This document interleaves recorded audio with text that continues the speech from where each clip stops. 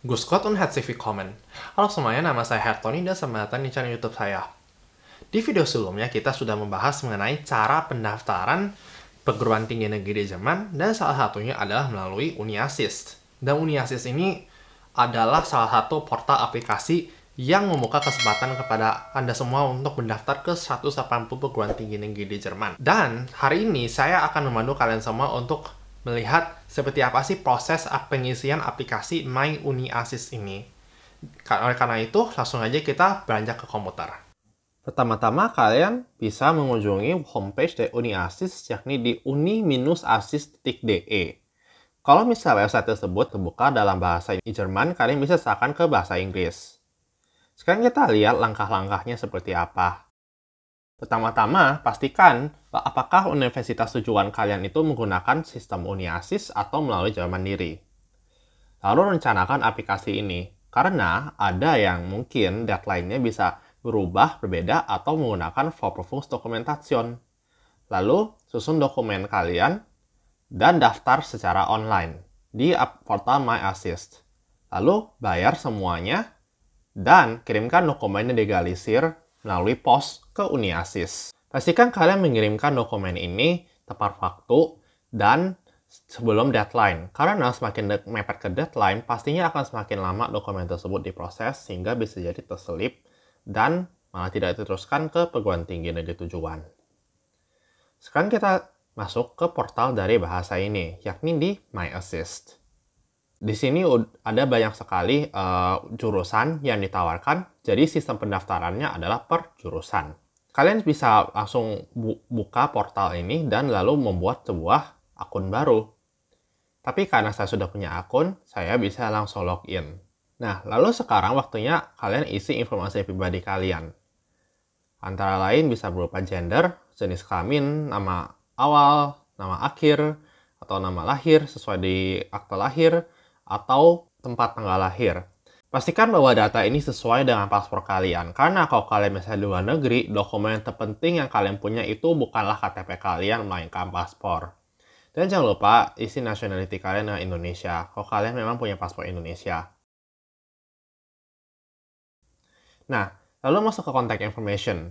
Ini sangat penting karena kalau misalnya ada Dokumentation, itu akan dikirimkan ke alamat rumah kalian. Jadi pastikan harus dimasukkan secara tepat. Jangan lupa kalau misalnya ada komplek rumah, kalian harus tulis karena waktu itu saya pernah lupa menulisnya sehingga nyasar sampai saya harus waktu itu sempat ambil ke Jerman. Itu karena kebetulan doang bisa dapat. Lalu sini kalian bisa mengisi informasi tambahan. Antara lain kalau kalian misalnya daftar di tempat yang memerlukan numerus klausus sehingga mereka meminta kalian untuk mengisi atau membuat akun di hochschulstart.de. Dan di sini kalian akan diminta untuk mengisi username kalian. Kalau misalnya nanti ternyata kalian dapat tempatnya, maka kedua-duanya yaitu unit asis dan akan mengabarkan kalian. Nah, sekarang di sini adalah bagian yang terpenting, yakni sejarah pendidikan kalian. Kalau kalian misalnya udah pernah lulus dari school, itu school di Indonesia adalah dari tingkat SD sampai SMA. Kalian pastinya kalau misalnya tidak pernah isi ke sekolah Jerman, kalian bisa isi, tidak. Dan jangan lupa untuk lihat apa tipe ijazah yang kalian punya. Apakah surat tanda tamat belajar, ijazah SMA, SMK, atau madrasah aliyah. Kalau kalian sudah pernah, belum pernah Feststellungsprüfung atau pernah masuk ke studium kolek, kalian bisa seakan klik tidak, dan aplikasi kalian akan secara otomatis diterima dengan syarat bahwa kalian harus masuk studium kolek terlebih dahulu. Dan itu ada surat undangan yang bisa kalian gunakan untuk visa Jerman. Kalau kalian bisa pas sajana, kalian bisa isi dengan degree kalian, lalu lanjut, dan sekarang adalah tempat di mana kalian bisa melihat jurusan yang ingin kalian daftar. Ketik sesuai dengan kriterianya, tentunya dalam bahasa Inggris atau atau kalau misalnya ini memang portalnya dalam bahasa Jerman, dalam bahasa Jerman juga. Dan jangan lupa bahwa uh, Windows semester itu pendaftaran ditutup tanggal biasanya 15 Juli kecuali ditentukan lain. Nah, di sini kalian bisa pilih salah satu aplikasi, lalu kalian bisa langsung select dan tambahkan ke seleksi kalian. Anggap aja ini adalah kantong belanja kalian dan kalian bisa terus browsing untuk melihat mana lagi, di tempat mana lagi yang kalian ingin daftar. Ini agaknya saya daftar ke dua sekolah ya. Sekarang kita lihat ke My Application.